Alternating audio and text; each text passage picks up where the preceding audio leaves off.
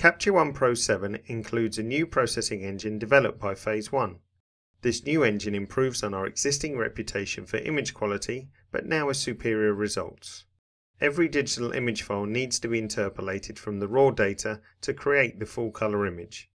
This is the job of the processing engine. With this new processing engine, the out-of-the-box results have been improved with even better color rendition, noise reduction and detail. Together this gives you better results with less time and effort. In this tutorial, we will have a closer look at the highlights of the improved processing engine. Each camera supported by Capture One Pro 7 has been individually optimized to minimize the effect of noise without reducing details. Noise reduction settings are applied here by default for your particular camera. The methods we use have been improved to give better out-of-the-box results, giving you a head start in production and saving valuable time.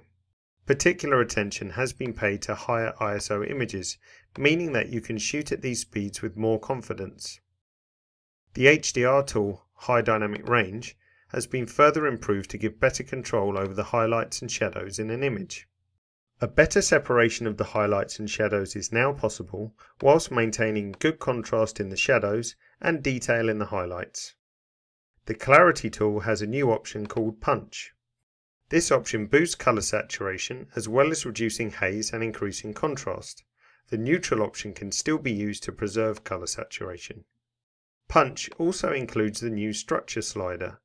Use this to add greater detail to complex structures such as foliage and textiles. The new lens tool now includes lens profiles for popular lenses from multiple manufacturers. Where possible, the lens selection will be automatic. Distortion, chromatic aberration, light fall off, and purple fringing are all corrected. In Capture One Pro 6, the lens tool also included the LCC option. LCC is lens cast calibration.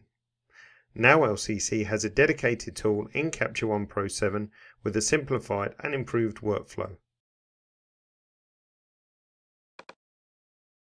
Many of these new tools contain an auto adjust feature.